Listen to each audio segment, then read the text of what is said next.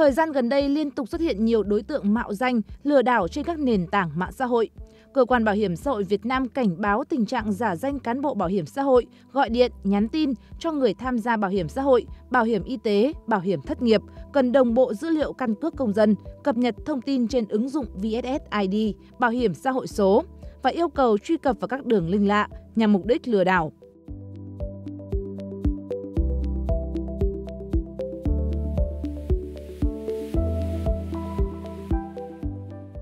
Luật căn cước 2023, từ ngày 1 tháng 7 năm 2024, người dân chỉ sử dụng duy nhất tài khoản VNEID khi thực hiện các dịch vụ công trực tuyến, các giao dịch và hoạt động khác theo nhu cầu cá nhân. Lợi dụng việc này, thời gian gần đây nhiều đối tượng mạo danh cán bộ bảo hiểm xã hội Việt Nam gọi điện, nhắn tin cho người tham gia bảo hiểm xã hội, bảo hiểm y tế, bảo hiểm thất nghiệp, yêu cầu đồng bộ dữ liệu căn cước công dân, cập nhật thông tin trên ứng dụng VSSID bảo hiểm xã hội số.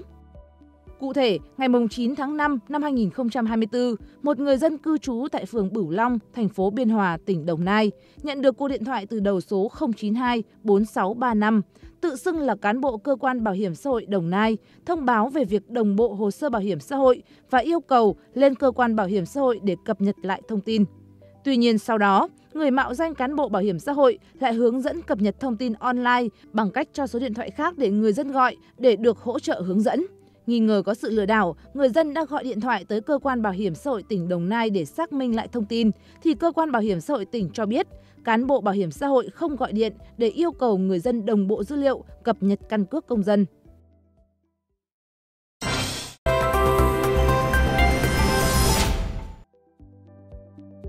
Không chỉ gọi điện, tại tỉnh Bình Dương, các đối tượng lừa đảo còn yêu cầu người dân cập nhật căn cước công dân bằng cách truy cập đường link lạ có tên miền đuôi govvvn.com trên thiết bị điện thoại di động và làm theo hướng dẫn. Tại đây, màn hình hiển thị giao diện giống với ứng dụng VSSID, bảo hiểm xã hội số của ngành bảo hiểm xã hội Việt Nam. Sau đó, đối tượng yêu cầu người dân nhập số điện thoại và mật khẩu bất kỳ vào giao diện này. Sau khi nhập các thông tin như hướng dẫn, người dân mất toàn bộ số tiền trong tài khoản ngân hàng của mình. Ngoài ra, tình trạng trên còn xuất hiện tại nhiều địa phương khác như Hà Nội, Sóc Trăng, Thành phố Hồ Chí Minh với cách lừa đảo tương tự.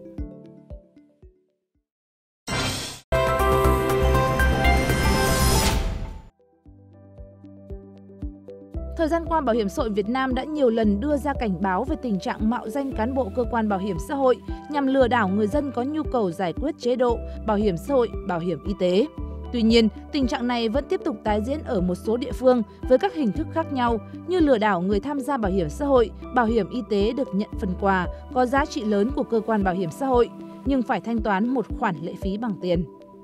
Cơ quan Bảo hiểm xã hội Việt Nam cũng cho biết, hiện tại Bảo hiểm xã hội các tỉnh, thành phố không có chủ trương gọi điện thoại hay nhắn tin yêu cầu người dân cập nhật thông tin trên ứng dụng VSSID Bảo hiểm xã hội số. Người dân cần tăng cường cập nhật thông tin về pháp luật, chính sách bảo hiểm xã hội, bảo hiểm thất nghiệp, bảo hiểm y tế, thường xuyên theo dõi các thông báo của cơ quan chức năng về phương thức thủ đoạn lừa đảo, cần nghiên cứu, kiểm tra kỹ trước khi thực hiện các giao dịch trên môi trường mạng.